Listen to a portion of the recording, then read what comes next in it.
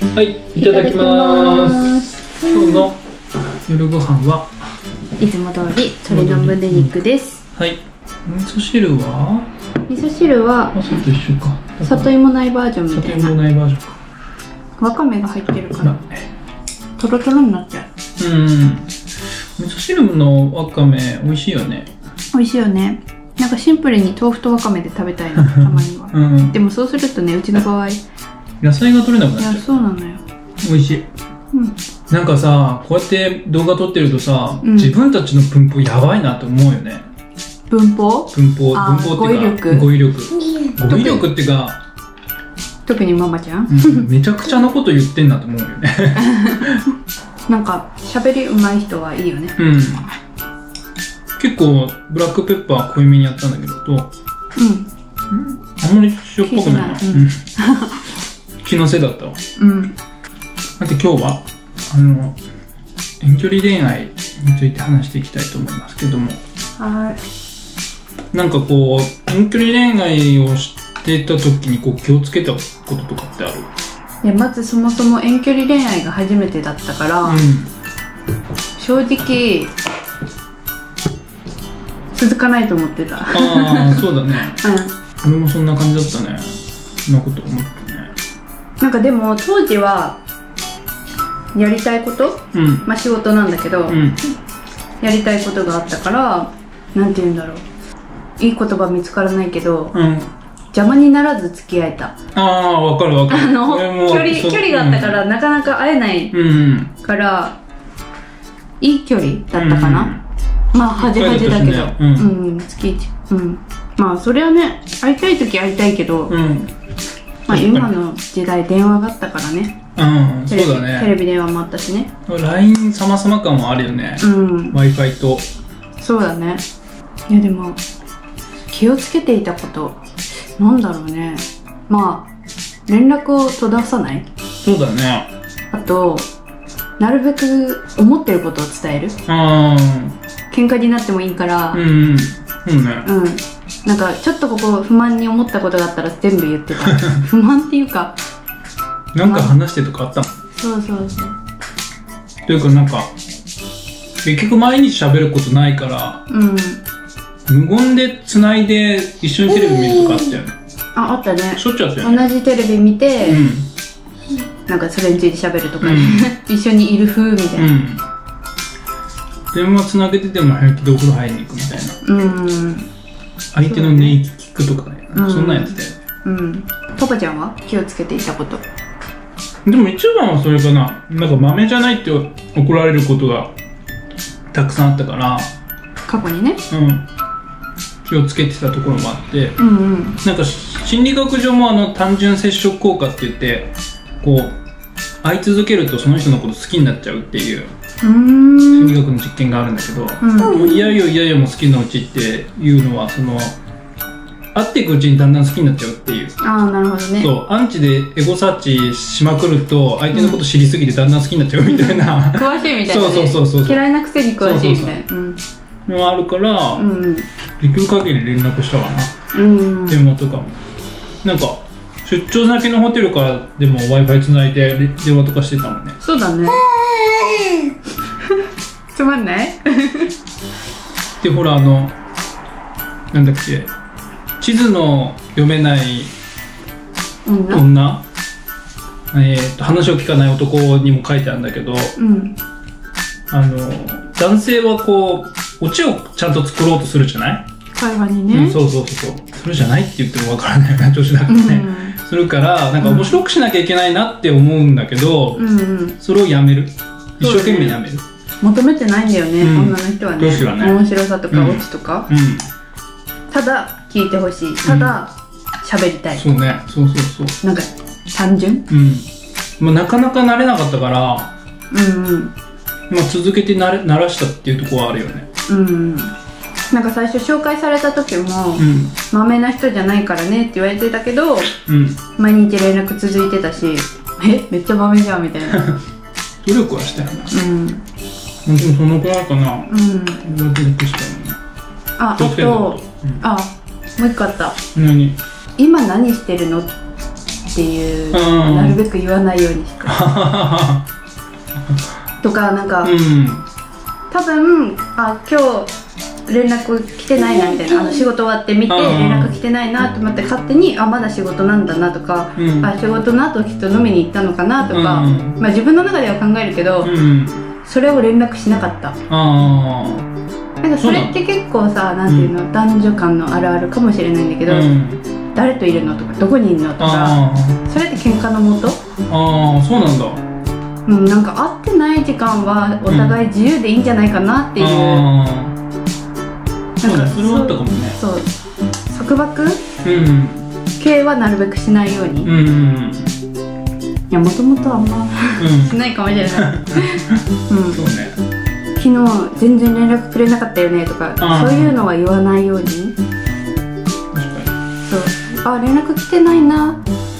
よし好きなことしようみたいな感じだったかな。なるほどね。うんなんかでも心配な人が心配なんだと思うそこ。でもそうなの？無駄な心配だよね。なんか心配してもしょうがないことだから 心配にならないけど。うん。だから変な話うん。たとえ浮気されてても、う所詮遠距離だしとんか、うんまあ。会えないんだしとかっていう割り切ったことはあった、うん言わないでほしいでも。うんうん。知らないとこで、うんね。うん、いうよね。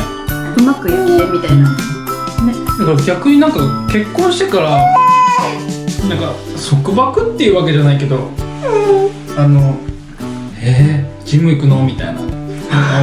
あこんなこと言われることもあるんだって思ったのはあったね。うんうん一緒にいる時となんか遠距離の違いみたいなのあったよね。うんうん。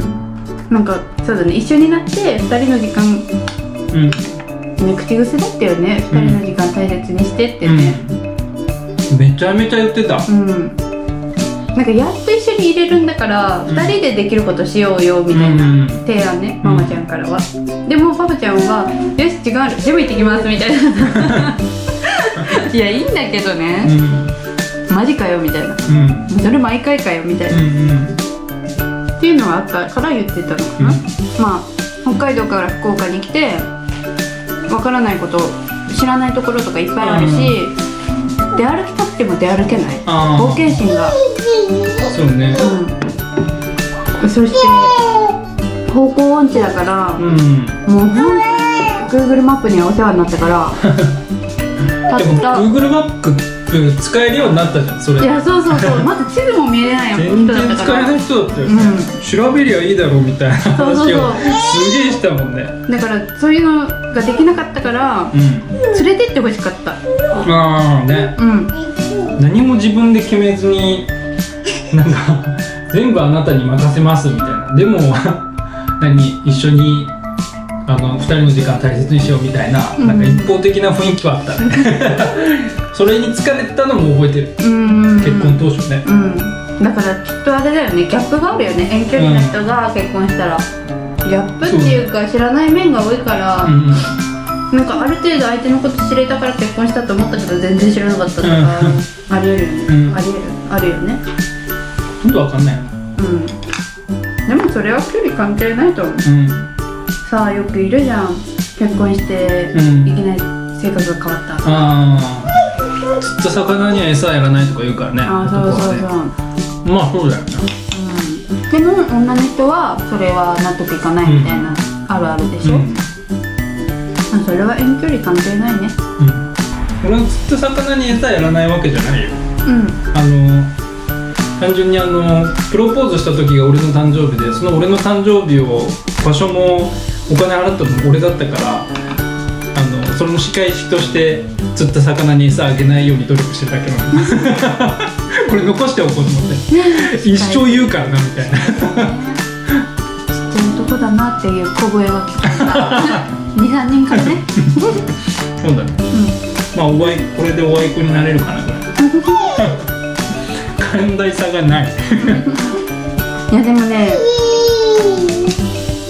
遠距離楽しかったよね。うん。面白い体験だったね初めてだったからかもしれないしまあうまくいったからっていうのもあるけど。うん。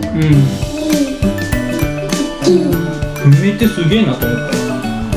あの毎日会話できるとか、うん。テレビ電話があったからね。うん。だから LINE なんてあんまりなんだろう最後の方はしてないよね。うん。最初はねいろいろ LINE でやりとりだけど、うん。電話するようになってからは